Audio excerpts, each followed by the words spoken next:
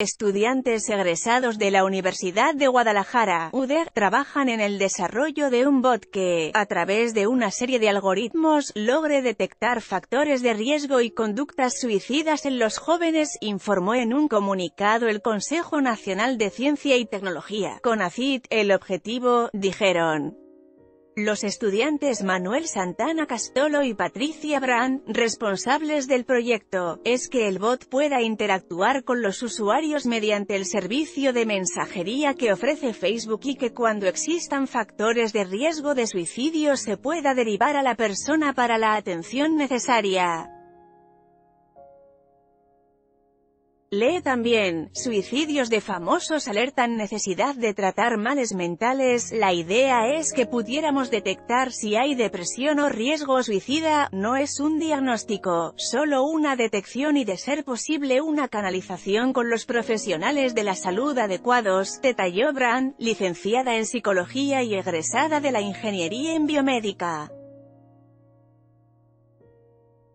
Brand fue la encargada de desarrollar la metodología para la detección de factores de riesgo de suicidio. Santana, ingeniero biomédico, dijo que buscan implementar algoritmos de inteligencia artificial que ayuden al bot a procesar las preguntas de los usuarios y, con el tiempo, pueda entender mejor las respuestas. Según los datos más recientes de la Organización Mundial de la Salud OMS, en 2015, la tasa de suicidios media en Latinoamérica fue de 9,8 por cada 100.000 habitantes.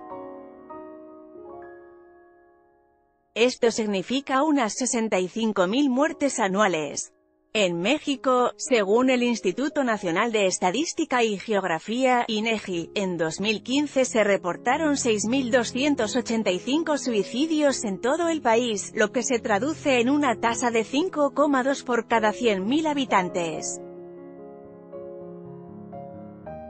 Lee también, aumentan los suicidios de estadounidenses de mediana edad Santana, estudiante del doctorado en Ciencias de la Electrónica y la Computación del Centro Universitario de Ciencias Exactas e Ingenierías de la UDEG explicó que, en una primera etapa, el chatbot recibirá la información básica de los usuarios para elaborar un primer perfil sobre la persona que interactúa.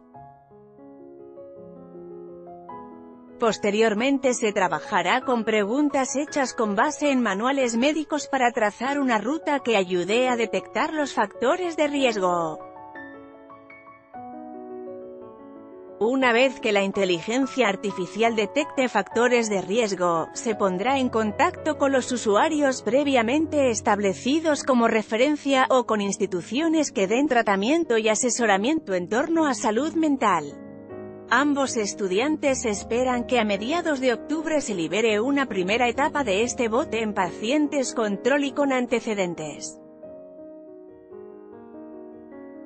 Brand dijo que para que el chatbot cuente con una base de datos para reaccionar ante los usuarios, trabaja en el desarrollo de una serie de información que robustezca la inteligencia artificial, basándose en manuales y tests disponibles que son piedra angular para diseñar nuevas formas de construir la perspectiva del bot. Lo diseñamos para que pueda detectar y evaluar las respuestas, asignamos un puntaje a las respuestas que los usuarios dan y también queremos incorporar un